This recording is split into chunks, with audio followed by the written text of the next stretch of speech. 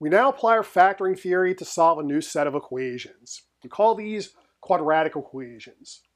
So these are going to be the form, okay, recall, quadratic polynomial is of the form x squared plus bx plus c. To get a quadratic equation, we take one of these, set it equal to zero. For instance, x squared minus 5x plus 6 equal to zero. Now, for the big picture, what kind of things do we already know how to solve? Well, we know how to do linear equations. From linear equations, we go to linear inequalities, or we could go to absolute value equalities where we have absolute value of x instead of x itself. So this is going to be the next step up from linear equations where we have just x and numbers. So here we have x squared, x, and numbers. How do we break this open? Well, for this part, we're just going to do basic theory. Our results are only going to be as good as we're able to factor, but later on we'll have technique that handles everything. Now, what we want to use here, okay, the key tool is going to be the zero product rule, which just says if I multiply two numbers and get zero, one of them had to be zero to start off with. So that would be kind of a little bit more formally, if a times b is zero, then a is zero or b is zero the way we want to use this, we'll assume, for instance, that this x squared minus 5x plus 6, we know how to factor that. That would give us two factors set equal to 0.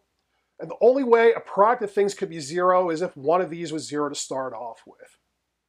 Now, you'll note, well, if I was just thinking about things that could go to 0 here, well, if I put a in here, this will go to 0 to give me 0. Or I could put b in here, doesn't matter what happens over here, this will go to zero also.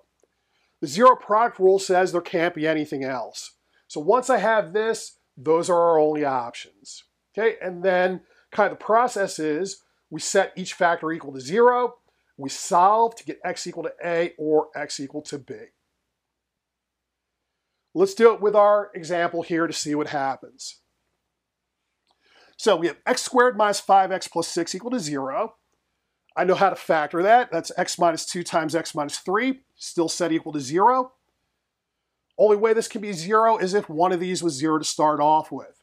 So we'll just set each factor equal to 0, x minus 2 equal to 0 and x minus 3 equal to 0. We solve.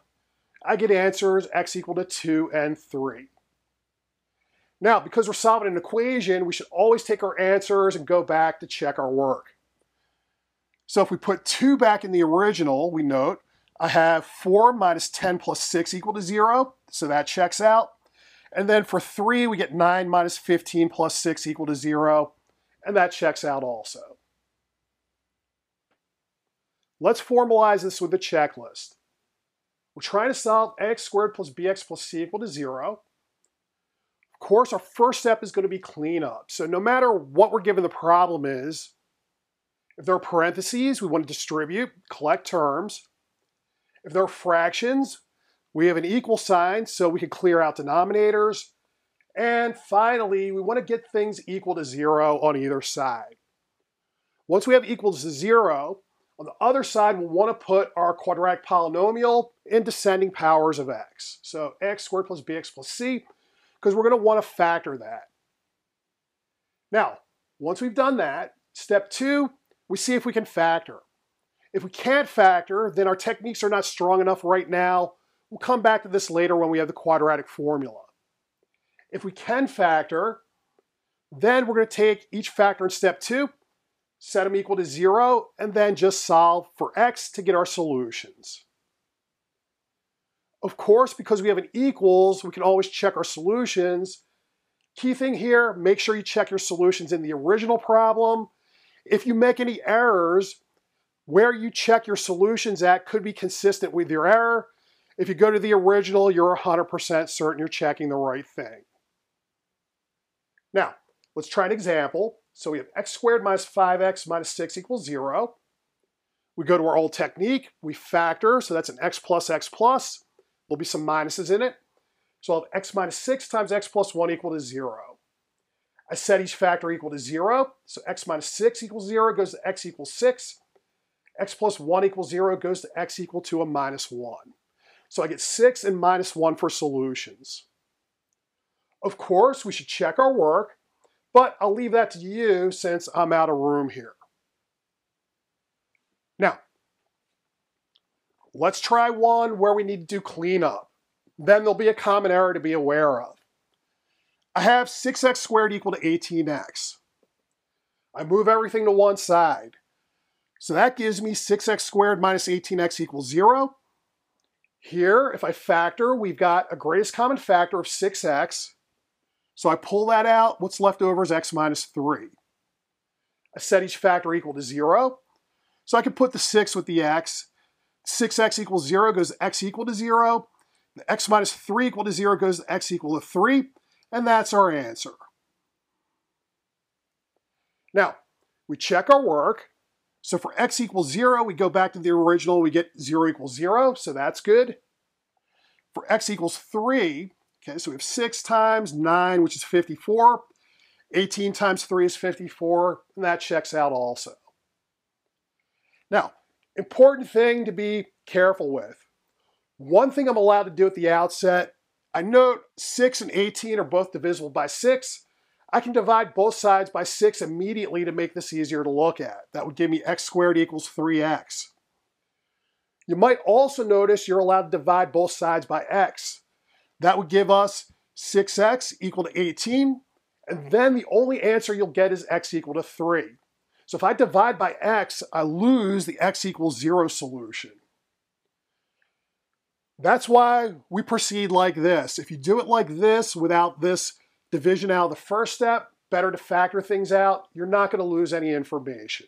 So be careful of this common error.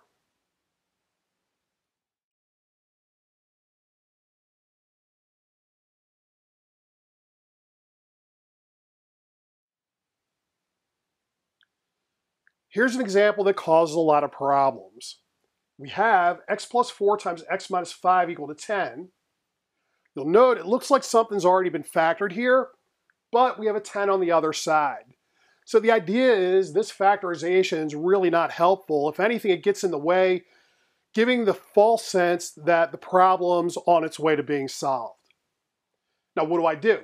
Well, I need the equal zero, so we're just gonna have to get everything on one side and see what we get. We FOIL our two on two, so we do the work, we get x squared minus x minus 20 equals 10. Push the 10 to the other side, we get x squared minus x minus 30 equals 0. This factors as x minus 6, x plus 5 equal to 0.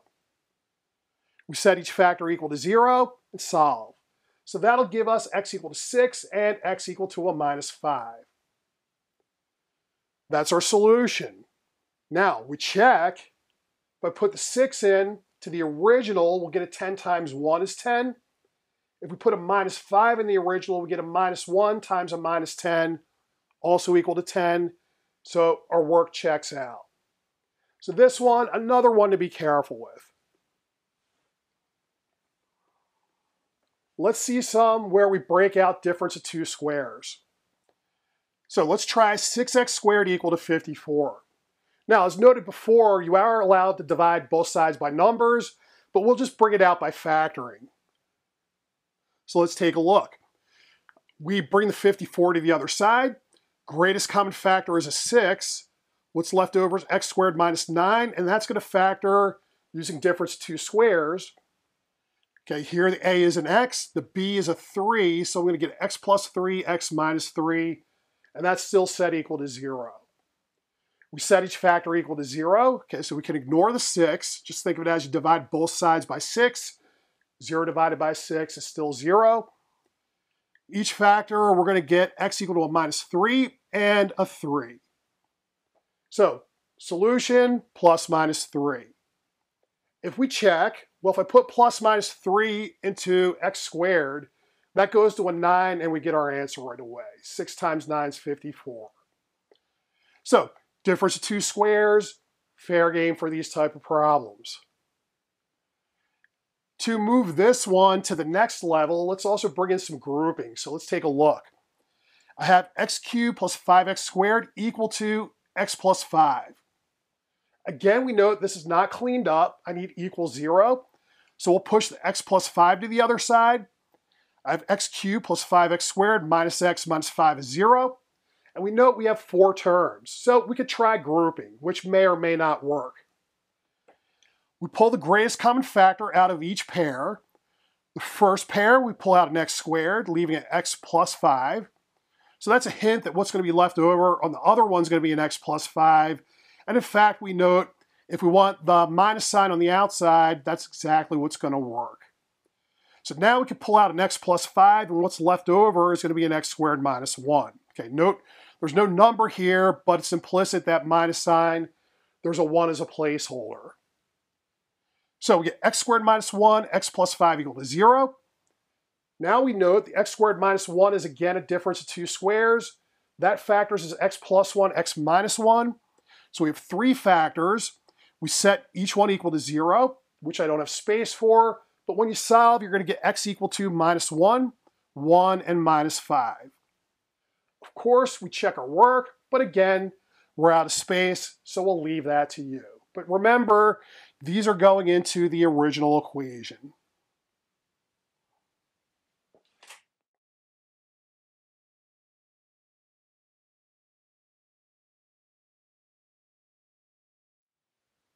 Now that we know how to solve quadratic equations, we can now look at word problems.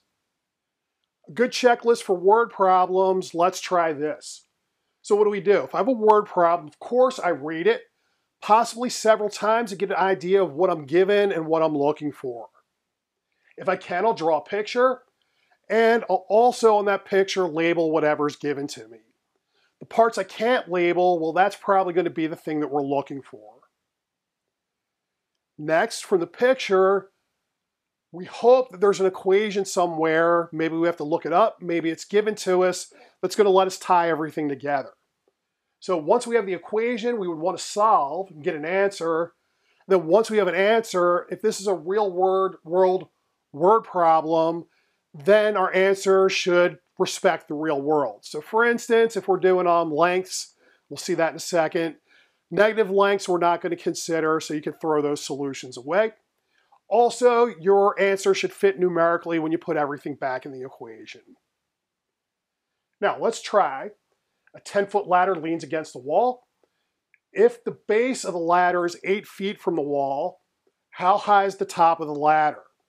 So what things are we given here? Well, I have a ladder leaning up against the wall, so there's going to be a height and there's going to be a distance to the base, which is like a floor. So we're getting a right triangle, which we'll give the picture in a second. Note, for this right triangle, we're told the length of the ladder, so that's the diagonal or the hypotenuse.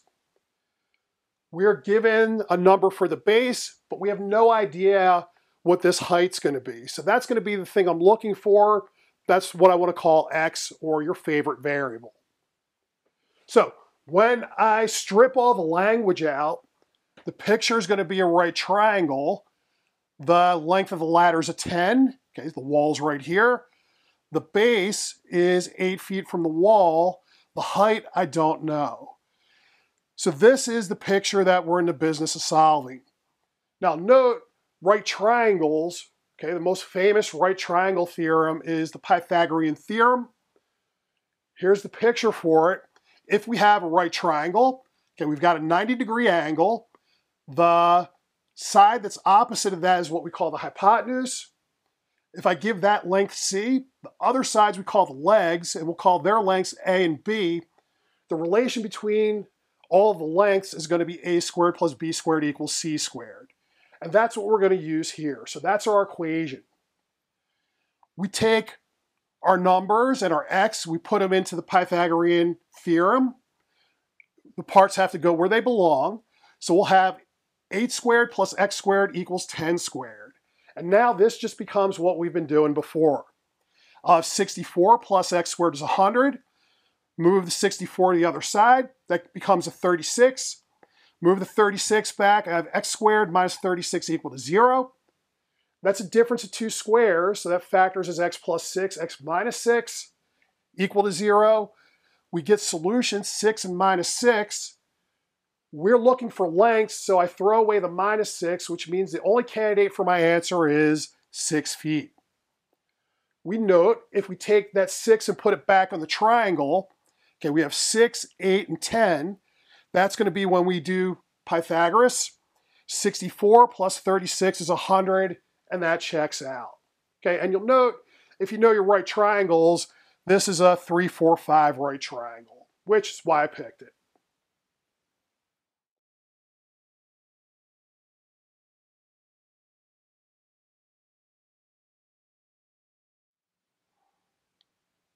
Let's try another word problem.